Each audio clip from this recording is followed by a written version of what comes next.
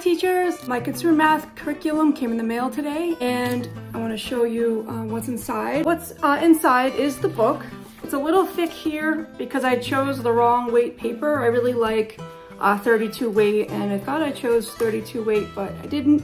These half sheets, these student half sheets, each one is actually printed uh, two per page like this so you can just print half as many as you need and then um, cut them in the middle. These go right into a composition notebook quick note is that I used a 100 uh, page composition notebook for this and it's a little short. There's a few pages in here that didn't quite fit. They do make 120 uh, page composition notebooks. So um, let me show you what's inside.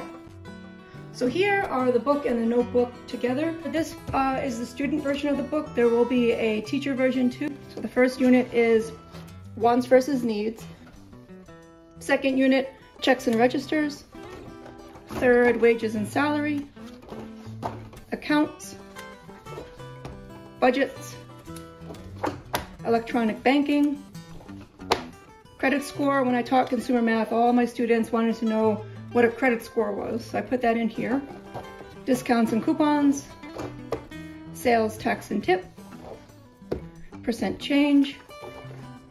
Unit price. And let me just show you what how the notebook comes into things. So here's our cover page and the students will have their own little cover page.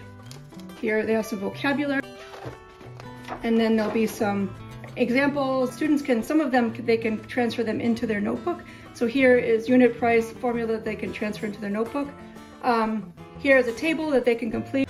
And I wanted to show you this. There'll be a quick check. And I match the graphics so that students can find uh, the graphic in their notebook easily. More examples and then some more problems for them to do. And those are all also uh, in the notebook. Avocados right here. And some more, um, another quick exercise. Gas mileage was in the unit price so that students can figure out how to calculate gas mileage uh, more problems to do and then we'll get into our income taxes. And let me show you that part here in the notebook. So the income taxes section will have uh, other whole pages to print out. And then we have Paula and Dylan, who the students will complete tax returns for based on their W-2 information. So those will just, you can print off from the, the IRS website, but I also put a link in the document for that.